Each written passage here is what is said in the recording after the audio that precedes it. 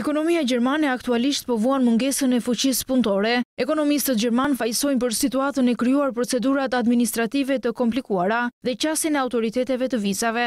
Ata kërkojnë zbutjen e rregullave të emigracionit, duke thënë se në Gjermani ekzistojnë vështirësi të mëdha për zgjerimin e sipërmarrjeve, pikërisht sepse mungon fuqia punëtore. Shoqata Qendrore e Zanateve në Gjermani konfirmoi se aktualisht në këtë degë ka rreth dyqind e pesëdhjetë mijë vende të lira pune. Më tej ajo përsëriti apelin se ka nevojë emergjence për fuqi të kualifikuar pune. Një gjë e tillë mund të arrihet në kualifikimin e mëtejshëm në vend dhe rekrutimin e të gjitha potencialeve të brendshme, por edhe përmes prurjes së fuqisë punëtore nga jashtë. Dhe pse në këtë drejtim po bëhet gjithnjë e më pak? Sipas analistëve, forcat e kualifikuara që vijnë nga jashtë përballen me shumë pengesa. Sipas tyre, duhet aplikuar sa më parë një procedurë e pakomplikuar dhe konsultave dhe përfaqësive jashtë Gjermanisë. Dhe pse aktualisht janë shumë të ngarkuara?